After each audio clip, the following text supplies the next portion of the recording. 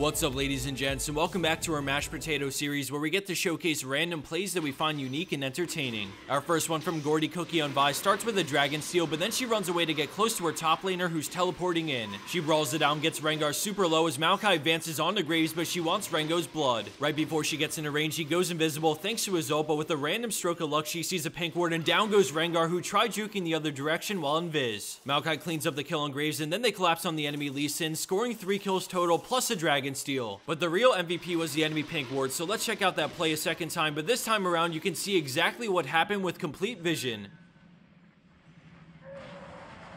That play was pretty unfortunate for the enemy jungler, but in our next play from infantry mid for the win, the jungler luck is swapped around. The enemy Vi was enchanted to top lane, but Fizz cuts her off and Riven dies, so Vi tries to piece out, but Fizz chunks her low. At this point, Fizz's E is still on cooldown, so Vi looks to Q out, and Fizz tries to flash to block her, but instead he just gets knocked over the wall. She walks away while he sits there defeated. If you play champions like Gragas and Vi, you know nothing's worse than getting denied on your wall jump, and in this case, Fizz could have just flashed after her Q, but style points got the better of him.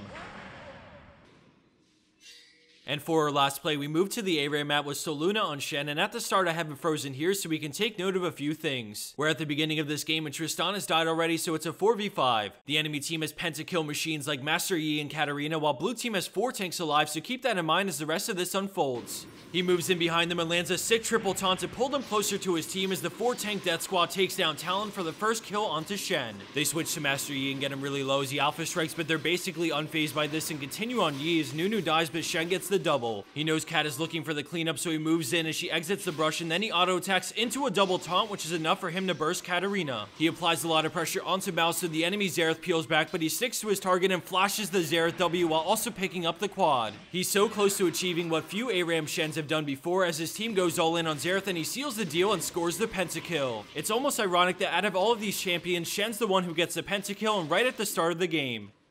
Thanks everyone for watching, but before you go, we have a cool little contest we're running with our sponsor AlphaDraft to win some cash and game time with yours truly. It's completely free to enter the contest and it'll be called Winner Plays with Protatomonster, so head over to the link in the description box and give it a try. It's a lot of fun making a fantasy team, so I think you'll really enjoy it. The total prize pool for this free contest is 600 bucks, and if you get first place, we'll be contacting you to arrange some games of League we can play. We rarely get to play games with our fans, so I really look forward to doing this more often and getting to hang out with some of you more privately. Hope you liked today's video, thanks for watching and have a wonderful day.